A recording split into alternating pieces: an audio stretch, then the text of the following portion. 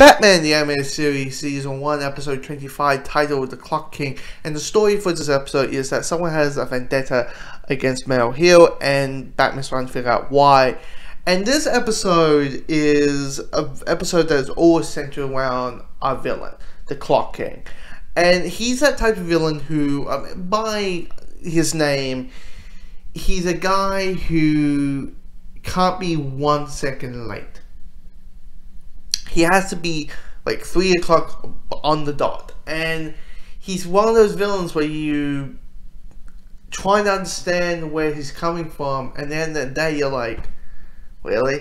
That's the reason? Like the reason why he wants to kill Mel Hill, and he has a vendetta against Mel Hill is simply this: seven years ago, Mel Hill adjusted to him, instead of his coffee break at three o'clock, he had it at three fifteen and he talked to the Jackson, shit happened, and he blames Mel Hill. But for me, at the end of the day, it's like, yes, all that stuff happened. Like, you lost a court date because, you know, a dog, you know, the wind blew it into a lake, a, a, a, a water fountain in a lake. But he had nothing to do with it. It's just, you know, bad luck. And, and, and really, the reason why you want to kill him is because you took his suggestion that you made me not have my three o'clock coffee break. I mean, it's just one of those things where it's like he's that type of villain that you're just like, I want to understand you, dude. I want to understand what your motives is, but I can't. I just can't. And I have to say this, like this whole thing, like you know, Alfred there's no Batmobile in this, right? And know, Bruce Wayne shows up for a little bit, and then Batman's in the rest of right?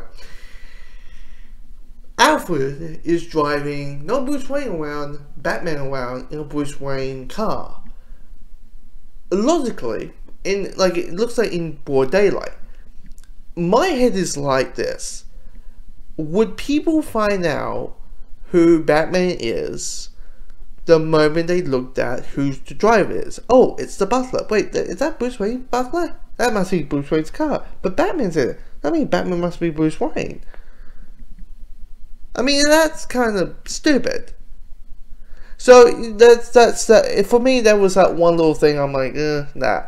Um, yeah, it is one of those like episodes where you're like, okay, that was the episode. You know, I just didn't find it that appealing of the time that that fit around the villain.